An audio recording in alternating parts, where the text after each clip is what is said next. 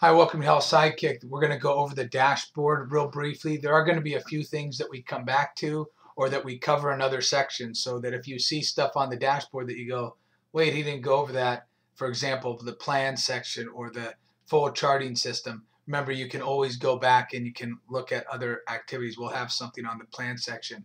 So you come to your dashboard when you first log in.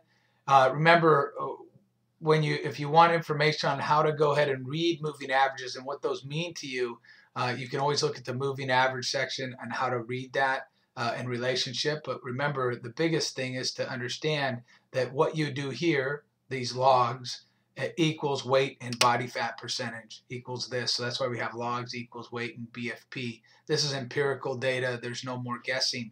So anyhow, that enough said on that. You'll always get your health side view and then on the dashboard, for example, you have places for your goals that you can click on and set goals, and we'll go over goals in a second. You have a place where you can log food, and we'll go over uh, the logging food section. This will take you in logging physical, mental, and spiritual activity in a different section. The plan section will also go over uh, in, a, in a different section. Know that we're to come we're to actually come back to this dashboard because it's a pretty significant thing that we'll talk about when it comes to plans and then the ranking section this is important. This will be here and, th- to understand how ranking works is is pretty simple. Is all it all it is is simply takes and it'll also take your individual but it takes the community ranking and it says okay the community ranking based on weight loss only.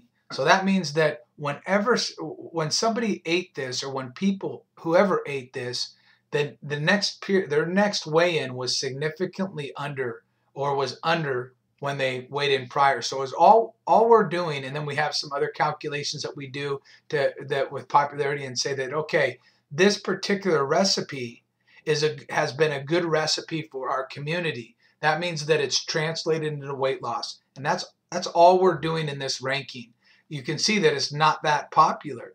So when you look at it and you go, okay, well, yeah, this is number one, but it's not that popular, huh? Then, then that means not that not there's not that many people that actually have eaten it.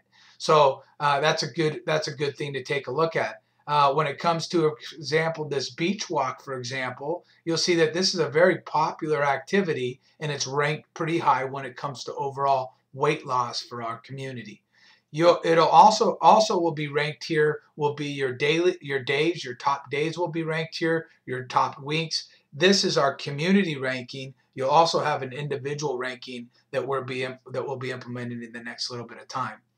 Uh, you and you on on this particular thing, you can obviously always look at your chart, look at your seven seven a fourteen, whatever you want in relationship. For example, calories consumed in relationship to my mental activity, for example, or my spiritual activity, or look at my calories burned in relationship to my spiritual activity what what exactly happened. So you you can go ahead and do that if you're trying to analyze how those things are impacting your overall uh, weight and health. That's about it for the dashboard. Again we're going to go over each section of these in another portion so you can click on uh, that at a later point as you go through the series. Thanks a lot